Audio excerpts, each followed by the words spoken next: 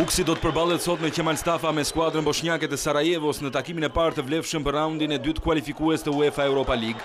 Skuadra e Armando Cungut ka realizuar objektivin e kalimit të një turi, ndërsa kërkon të shkruajë historinë për të vazhduar më tej aventurën evropiane, si i vetmi ekip shqiptar që vazhdon në këtë kompeticion për këtë sezon.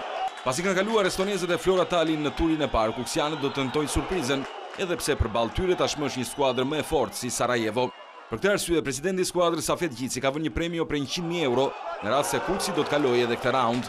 Mungesa e vetme për ekipin shqiptar është Musolli, ndërsa Kukësi duket se është forcuar ndjeshëm këtë sezon me ardhjen e Karabecit dhe ganezit Adams.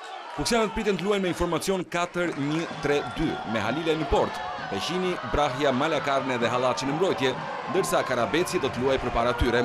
Mesfusha do të përbëhet nga Progni, Alikaj dhe Hoxha, ndërsa dyshja ofensive është Allmuça, Popoviç. Takimi pritet të ndiqet nga një numër i madh tifozësh në stadium për të përkrahur skuadrën e tyre të zemrës. Sfida do të luhet në orën 19:30 dhe për të gjithë të apasionuarit e futbollit, ajo do të transmetohet drejtpërdrejt dhe ekskluzivisht në Vizion Plus dhe platformën Tring.